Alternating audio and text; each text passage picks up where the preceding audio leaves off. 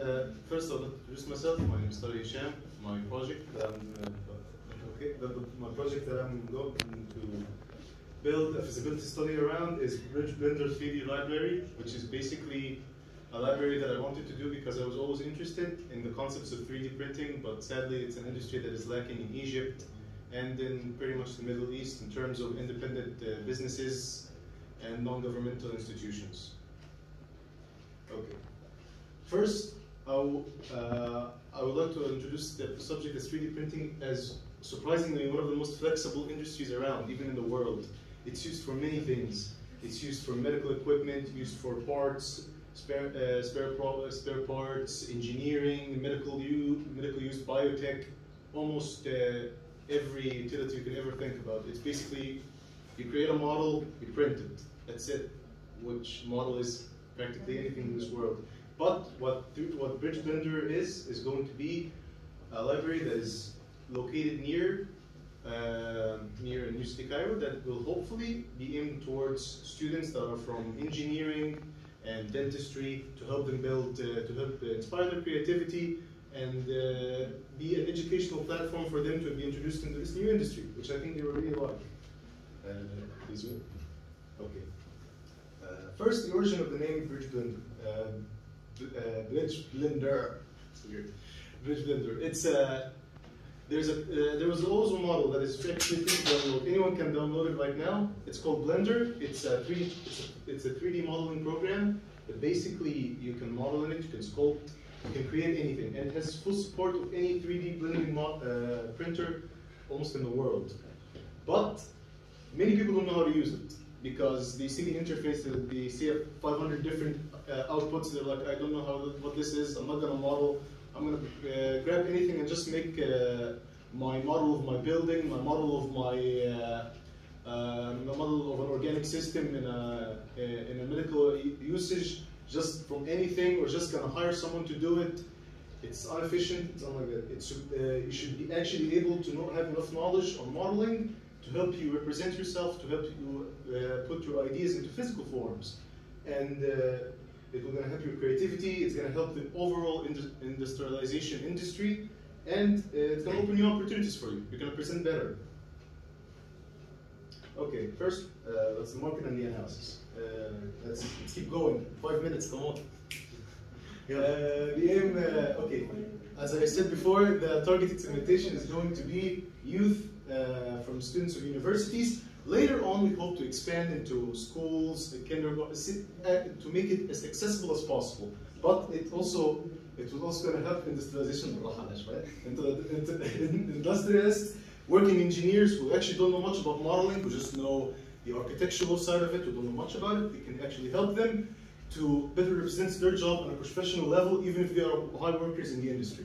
Yeah. Okay, the when and who and uh, where, and most importantly, why. Why would you buy this? What is 3D printing? Why am I ever going to use it? First, it's uh, if you actually do research on it, it's kind of like magic. You can do anything you want. Unironic. You uh, a table broke. What are you gonna do? I can't find the handle. I model the handle. I print it. I install it. Problem solved. Anything can be done. And uh, and when you will buy it, in terms of at least the structure of this uh, project, is uh, during the is during the semester.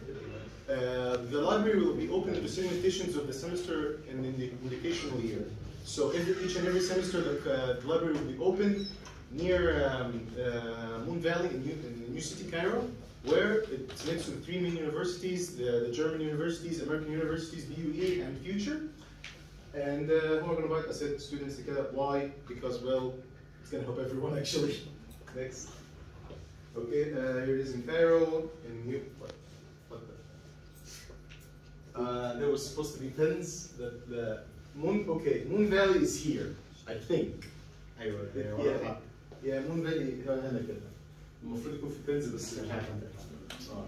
هنا في مون فالي uh, في there is a an in an, an in-sale rest, uh, restaurant that's full retailed in NCC legal firms anything for like 500,000 uh, pounds, which is amazing. I can't believe I actually found something so cheap in like New York City. But next, please. Okay. The strategy and products. strategy and products. Okay. First, the policy that we're going to do is basically be reliant on quality. Uh, we're gonna help. We're gonna help people not be intimidated by the industry. If you ever fail, if there's any technical difficulties that have, anything to do with the 3D printer itself, you can reprint it. It's okay. The library itself is going to take full responsibility of it. It's okay.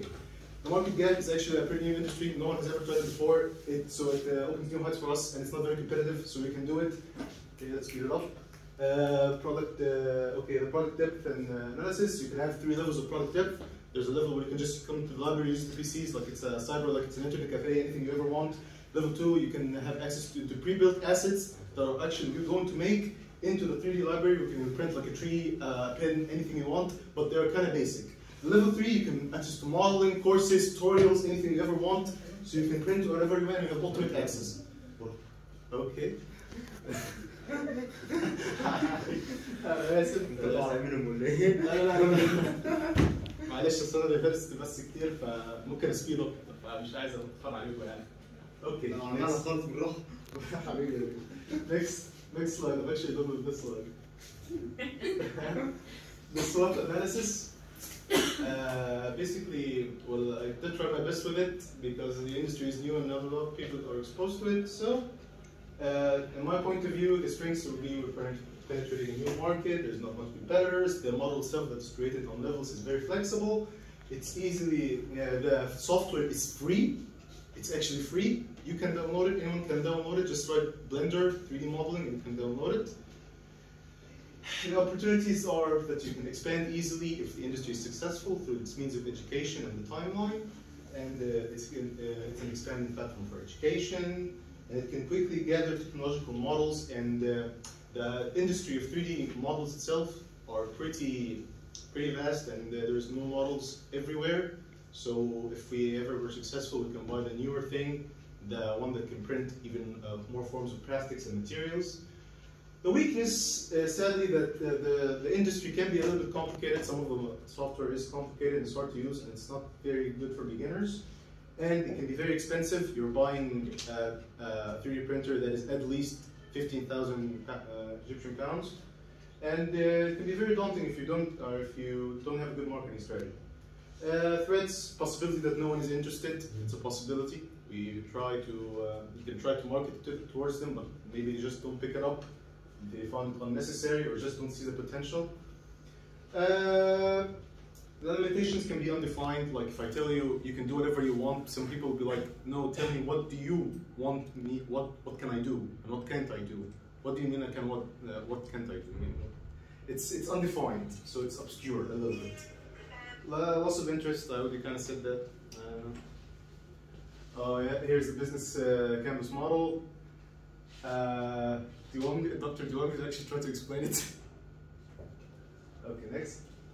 Uh, Imagine portal model. It's uh, sorry, I just want. Uh, it's uh, basically it's not risky. It turned out 48, which I I don't know why it turned out like that, but I think it's a little bit riskier than this. But it, it was deemed not risky by uh, the portal model by such forces. Okay, technical feasibility and financial structure. Uh, is this logically possible? Okay. First, uh, the surveys, I actually sent out uh, like 118 surveys into, basically my brother helped me because he knows people in New City, Cairo. And uh, through it we actually determined our pricing system. We introduced the levels, how much are you willing to pay for the lowest level, how much are you willing to pay for the highest level, in order to determine what, yeah, what people will be willing to pay. And through that we actually settled on the, le- uh, or at least I settled on the leveling system of level one being access to PCs and not much modeling, level two being access modeling, level three being practically a full membership where you can access modeling, software, hardware, and uh, unlimited access. You can create your own models, access to courses, anything you ever want for like 100 Egyptian pounds. Okay. Uh, in terms of the uh, uh, pro forma income statement and, uh, uh, and the pro forma balance statement, the, uh, after we doing the calculations and determine the demand forecasting, and, and our overhead costs, we actually determined when putting everything together that we are going to have over uh, uh, 71 uh, uh, of uh, cash, um, what's it called? Uh, yeah, I mean cash read, cash flow, Yeah, excess. يعني excess of cash. Excess of cash, yes, I forgot the word, sorry. Excess of cash. Next okay the profitability margins. They're actually uh, these are, pro- are profitability margins that are very hard to see I'm sorry but uh, those are we uh, we actually were able to determine the demand uh, forecasting easily because the population of uh, New City Cairo is uh, uh, like 300,000 people, I think, and uh, and those after running a research where we determined and asked all the universities of the amount of the uh, engi- engineering and um, medical students that they provide, we actually were able to segment it even more to like 31,000, and then added on the growth rate, which is two percent. And we were able to get that, and then we segmented it on our estimated value of uh, worst to average best scenario, 40 to 70 to 100 percent. Okay. Next, this is the rest of the appendix. Uh, I, it's in the project. Do you want me to read it, doctor? Okay. Go on. This is the rest of the appendix. Uh, the rest of the appendix. Can you perform a income statement, perform a profitability ratio? Oh, uh, can you go back like two slides? Uh, uh, again, our profitability ratios. Uh, here it is. Here they are.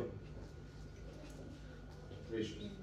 Uh, do you want me to read them for you? Because uh, I don't want to read it, I need you to explain what the meaning of these ratios and what are Oh. the interpretation Oh, and what can you go from all the things, Okay. and why you are doing this, and do this for that, and who did that for those. Okay, look. Uh, basically, the gross margin of profit, which is basically uh, the the margin of which each and every time you spend, you spend, you can actually have the opportunity to gain profit from it, and it's, it's a positive, and it is positive scenario. And this, I'll first like to inform that this is all in the best scenario because the three scenarios uh, of uh, 40 to 70 to 100 percent in, until people get uh, until the, our notoriety rises a little bit will be uh, on semester years. So the timeline will not actually be that long, so we can reach that point hopefully higher. And in that point, uh, our profit of margin, which is basically for every marginal product, how much profit we're going to make is 0.34%, which is uh, it's, part, pretty good, uh, and hopefully it will, uh, with uh, with hopeful expansion and uh, buying new models, we're only going to have two 3D printers and like six PCs. What is the time frame for your expansion in the future? Expansion, hopefully, two and a half years. Hopefully, two and a half Next slide, years. Yeah. Okay. Next. Oh, okay. Next. Next. So. Yes. yes. yes. Me a lot to find this picture. uh, and you, uh, basically, to conclude everything and to say uh, why, I why I think this project is actually an important project is because uh, there is very few realms of um, uh, physical creativity these days. Most of the things are actually digitalized. And we are planning on to use the digital world in terms of our marketing strategy. But uh, the, the physical material of the world, like how, how many, uh, the, the fact that most interviewers are being accepted when they are face to face connection, physical material, material, the fact of materialism is part of us as humans. We, we connect more when something's in front of us. And the fact that access to people, uh, normal students, and hopefully even, uh, even younger age groups, are going to be able to access to create physical materials that represent their ideas uh, in front of their colleagues, their workers, their, uh, the- their employers and employees.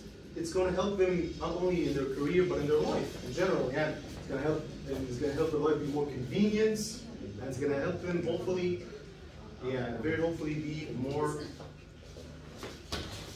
And it's going to help them hopefully uh, make them much more creative. Uh, thank you all. Thank you so Uh, much.